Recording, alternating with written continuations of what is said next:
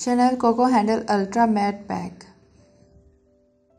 The famous Chanel Coco Handle bag is back again but with a new cover.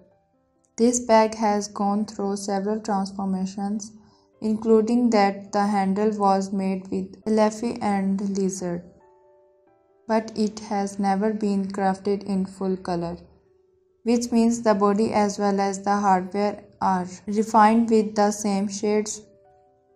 Therefore, we hope it's not a seasonal piece, but if so, it means that you will have just one opportunity to get one for your wardrobe as a collectible item. Such a bag is going to be really rare and demand will be high. The price will skyrocket as a resale. This bag is made from calfskin and refined with lacquered metal. The chain strap remains crafted with woven chain strap but they are colored.